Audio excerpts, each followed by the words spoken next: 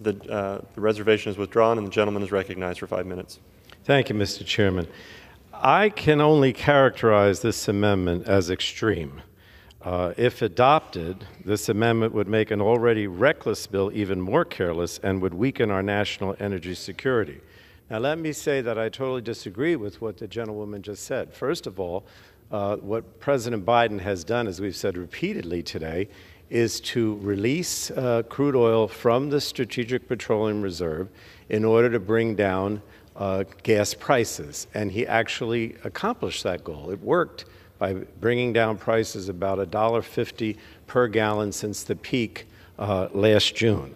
In addition to that, we set forth uh, that uh, this was to address the supply chain because we know that uh, with the uh, with the war in Ukraine, uh, the supply chain was severely limited, and the, one of the purposes of releasing oil from the reserve was to have more in the supply chain. The gentlewoman also suggested that uh, that we're restricting, that this administration is restricting the use of public lands for drilling. That is simply not the case. There, half of the public lands are available for drilling. As I've said before, the, the oil companies simply don't want to drill because they want to keep the prices artificially high by not drilling. No, I'm not yielding at this time. Now, what, this, what the gentlewoman has done, and I just want to explain this in a little detail. Right now, the bill before us does have an exemption that says you don't have to drill or put forth a plan to drill on public lands if certain um, if certain criteria are met. It says during a severe energy supply interruption, uh, if the president determines that an emergency situation exists and there's a significant reduction in supply, a severe increase in the price of petroleum products, and or such price increase is likely to cause a major adverse impact on the national economy. So even under this underlying bill, if those criteria are met, the president can use the SPRO and release oil from the Strategic Petroleum Reserve for these reasons.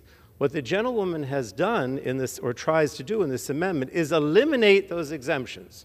So essentially, what she's saying, and this is why this is so extreme, is she's saying it doesn't matter if there's a problem with high prices. It doesn't matter if there's a problem with the supply chain. We're not going to let the president release oil from the reserve for any reason whatsoever unless a plan is put forward to uh, allow for more drilling on public lands. That is extreme. Even the Republican leadership doesn't support that. She's saying no exemptions whatsoever. Imagine what this would do if we had no flexibility whatsoever, no matter what the price was, no matter what the supply was, no matter what the emergency is, not allow.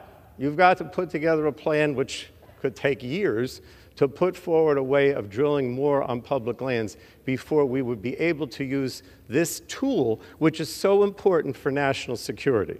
This is really, in my opinion, outrageous and extreme. And I would urge my colleagues on both sides of the aisle to, to oppose the amendment for this reason, and I yield back